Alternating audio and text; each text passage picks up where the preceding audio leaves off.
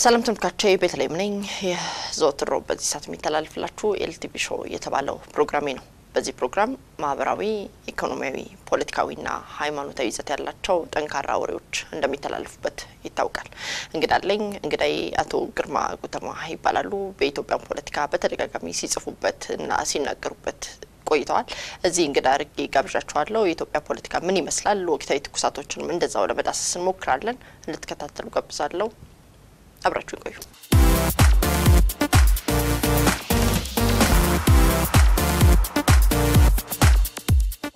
አቶ ግርማ እንኳን ደህና መጡ። እንግዶቼም በሙሉ አንቱ የማለት ልማድ አለኝና አንቱ እያልኩ እዘልቃለሁ ማለት ነው። ጥሬን አክብረው እዚህ ድረስ ስለመጡ በጣም አድርጌ አመሰግኖታለሁ። እኔም ለእድሉ አመሰግናለሁ። እስቲ ወቅታዊ የሀገራችን ሁኔታ እንዳሳለን ፖለቲካውን እናየዋለን። ነገር ግን ሕክምና አጥንተው እርስዎ ፖለቲከኛ የሆኑት ለምንድን ነው?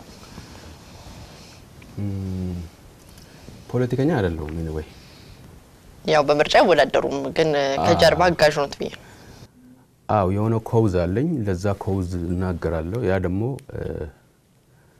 probably አክቲቪዝም ነው ሊሆን የሚችለው እንጂ ፖለቲከኛ የፖለቲካ ለፖለቲካ ቢሮ የሚወዳደር ሰው ማለት ነው። እንደዛ ስላልሆነ ፖለቲከኛ አይደለሁም። እንደዛ ራሴን አላይም ማለት ነው። አክቲቪስት ነበር እንዛ ኖት። እሱ የበለጠ ይቀርበኛል። አክቲቪዝም side መያዝ ነው።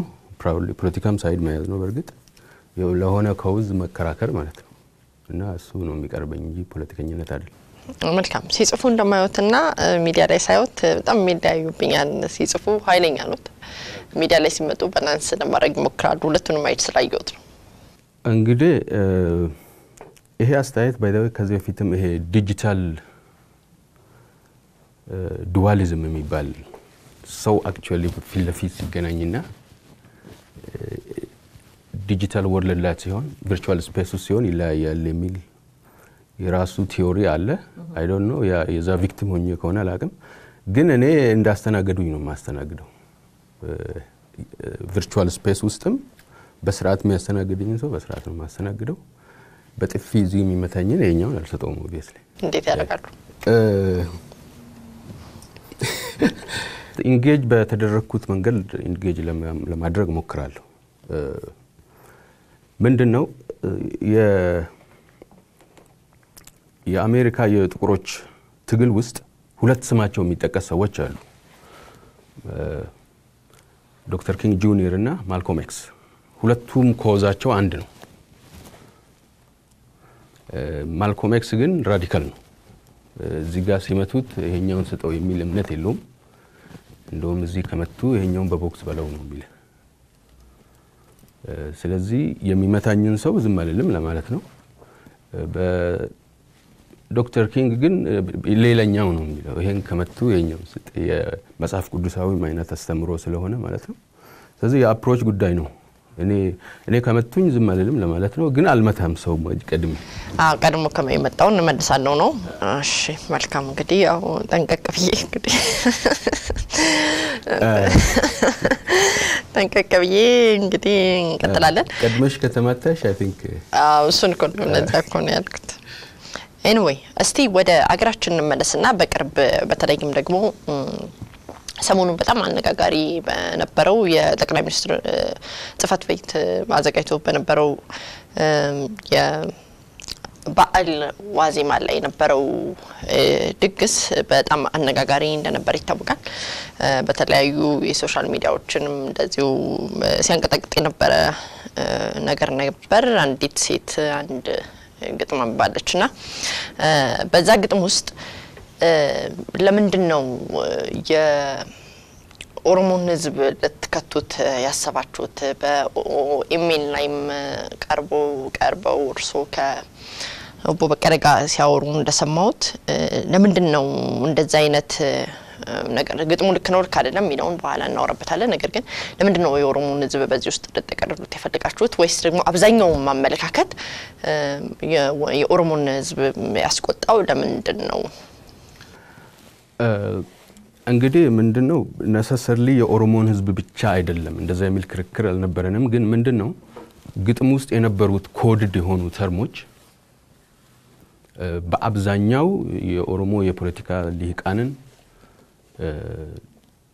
ለኦሮሞ ፖለቲካ መብት የሚናገሩ ሰዎችን ለማጥቃት የሚታወቅ የፖለቲካ ቡድን የሚጠቀምባቸው ስለሆኑ ነው። ለምሳሌ መንጋ እንግዲህ ቄሮ ባለፉት አራት አምስት ዓመታት በአንድነት ተነስቶ በጣም ትልቅ ችግር ውስጥ የነበረችን በ dictatorship እንደዛ አይነት መንግስት ሲዋጋ ነበርና ይሄንን coded አድርገውት በመንጋነት ወደ እንስሳ መንጋ basically herd የሚባለው የእንስሳ ባህሪ ነው። እና ልክ የማያስቡ ሰዎች አንድ ሰው ስለጠራቸው ብቻ የሚወጡ የራሳቸው ኤጀንሲ የሌለው የእንስሳ ቡድን። አንድ እንስሳ አንዱ ከሮጠ እሱን ነው የሚከተለው። ምንም ሌላ በ instinct ማለት ነው፣ በደመነፍሳዊነት። ፖለቲካ በደመነፍስ አይደረግም። ሰዎች የራሳቸው ኤጀንሲ፣ የራሳቸው አስተሳሰብ አላቸው። ይንስም ይብዛም ማለት ነው። የራሱ የሆነ እይታ አረዳድ አለው። ትክክልም ይሁን wrong በዛ ደረጃ የሚንቀሳቀስን የህዝብ ትግል በ herd ወይም በመንጋነት መመሰል ትልቅ ዘረኝነት ነው፣ ስህተት ነው። በአብዛኛው ደግሞ ኦሮሞ አካባቢ ንዴት የፈጠረው ምንድን ነው?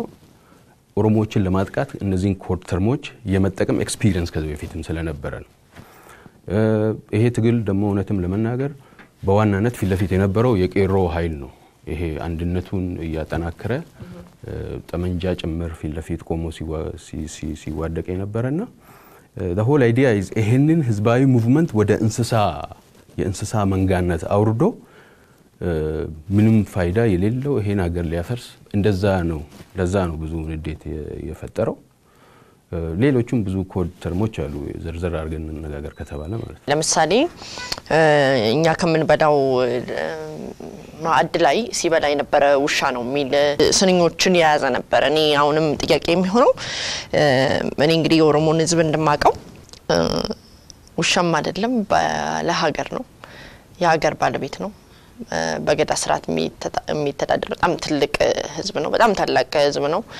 ሲራብም እንኳን አይቼው አላቅም። እንግዲህ በእኔ እድሜ አብሬያቸው እንደኖርኩት ሲራቡም እንኳን አይቻቸው አላቅም።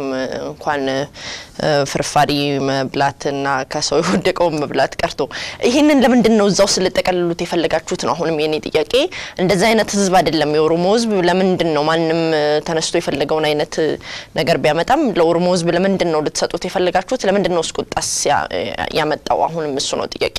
መንጋም አይደለም የቄሮ ሙቭመንትም እንደሚታወቀው አንድ ቀን ታሪክ እንግዲህ ይዘግበው ይሆናል ብለን እናስባለን። የመንጋ ሁኔታም አልነበረም። ምስራቅ አፍሪካ ውስጥ ታይቶ የማይታወቅ እንቅስቃሴ ነበር እና ይሄ ነገር እንዴት አድርጋችሁ ለምን ለፖለቲካ ትርፍ ሰጣችሁት ወይስ ደግሞ ከቁጭት ነው? አቶ ግርማ ባኩ አጠቃላይ የግጥሙን ሙሉ picture ስታዩ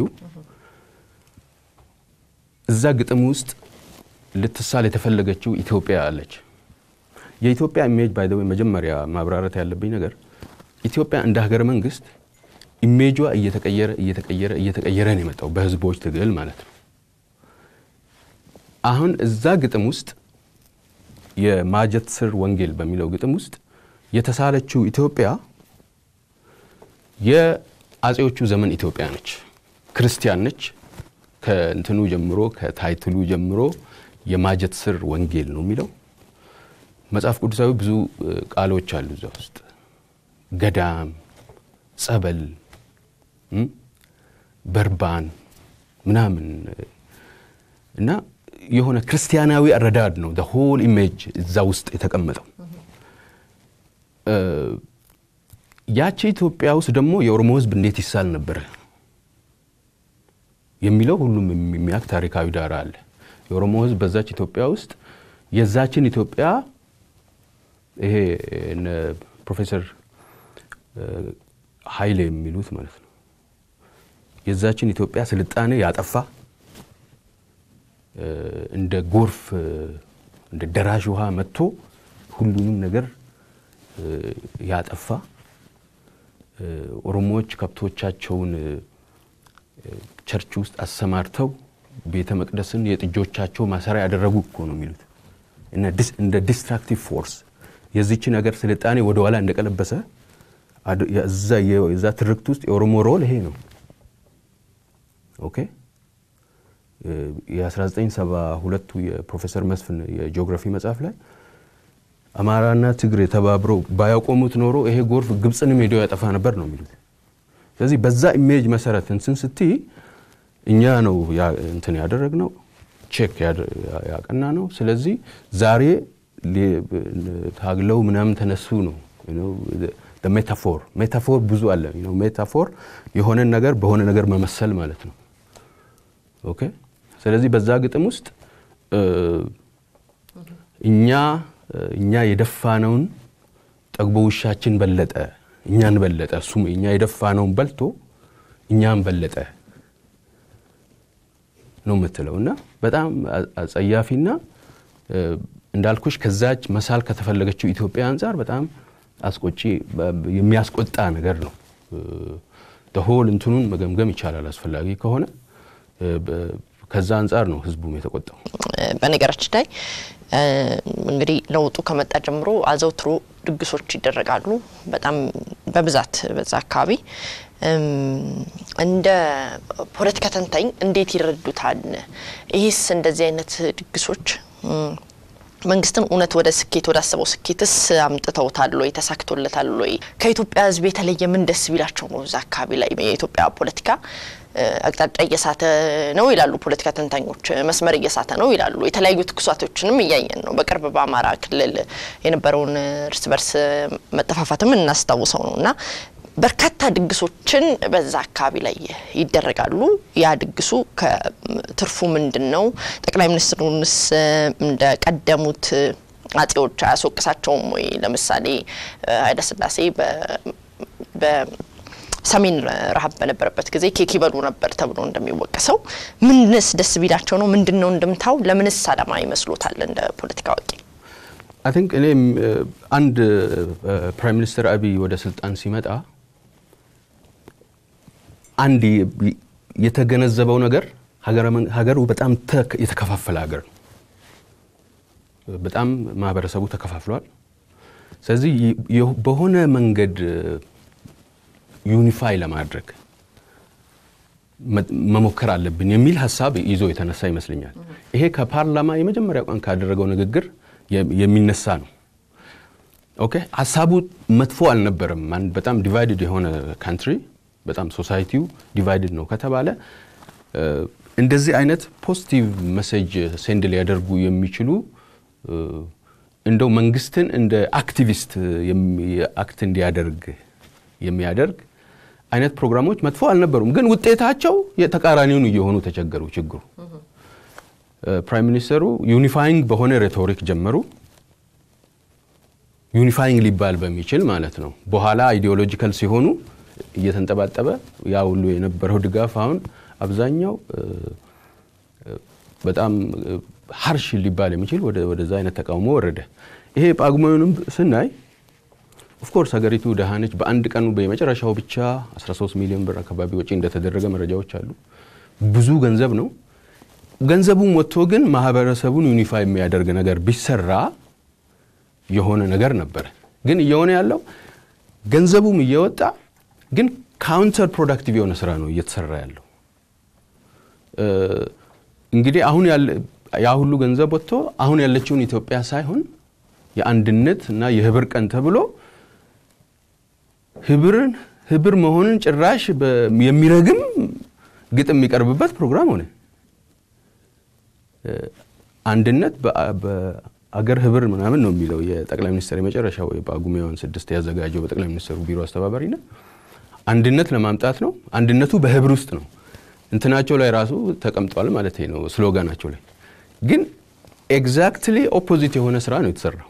ማህበረሰቡን የሚከፋፍል አንዱ የአገር ተቆርቋሪ ሌላው አገር ሻጭ አድርጎ portray የሚያደርግ ስራ ነው የተሰራውና የሚፈልጉትና የሚሰሩት ስራ እየተጋጨ እንደውም ሀገሪቱን የበለጠ polarize እያደረጉ እያደረጉ የሄደበት ሁኔታ ነው የሚታየኝ። ይሄ ሁሉ ድግስ ማለት ነው። ስለዚህ አሁን ድግሱ ቢቀር ነው የሚሻለው ለእኔ። ለምን why you spend all this money ማህበረሰቡን የበለጠ polarize ለማድረግ